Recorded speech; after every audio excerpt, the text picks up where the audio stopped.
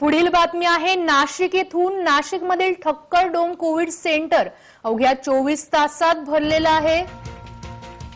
नाशिकमधली धक्कादायक बातमी आहे अवघ्या चोवीस तासात नव्यानं उभारण्यात आलेलं कोविड सेंटर भरलेलं आहे.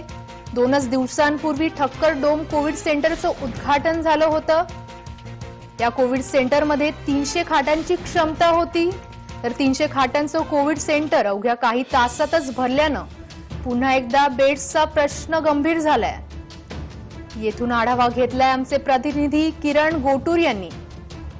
नाशिक जिल्ह्यात मोठ्या प्रमाणात कोरोनाचा प्रादुर्भाव एकूणच वाढत असल्याचं आपल्याला बघायला मिळतो मी नाशिकच्या या ज्या आहे ठक्करडोम परिसरामध्ये आहे खरं तर अवघ्या चोवीस तासांपूर्वी खरं तर हे तात्पुरतं रुग्णालयाची सुरुवात जी आहे ते महापालिका प्रशासनाकडनं करण्यात आलेली होती. आपण बघू शकतो की सर्व जे बेड आहे ते ते फुल झालेलं आहे तीनशे बेडचं रुग्णालय हे तात्पुरतं रुग्णालय महापालिका प्रशासनाकडनं चालू करण्यात आलेलं होतं. पण अवघ्या चोवीस तासांमध्ये संपूर्णपणे हॉस्पिटल हे भरलेलं आहे.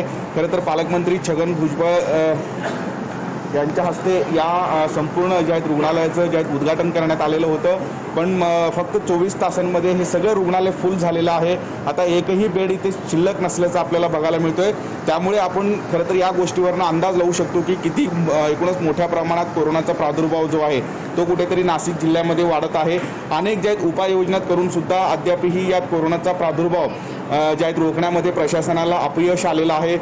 किमान मनपा हद्दीमध्ये जवळपास जे आहे दोन ते अडीच हजार नव्यात कोरोना एकूणग्रस्तांची नोंद रोज होत आहे. अशा परिस्थितीमध्ये खरं तर हे कोरोनाचा सेंटर जो आहे तो चालू करण्यात आलेला होता. मात्र अवघ्या चोवीस तासांमध्ये हे कोरोना सेंटर संपूर्णपणे भरल्याचं आपल्याला बघायला मिळत आहे किरण गोटूर जय महाराष्ट्र न्यूज नाशिक.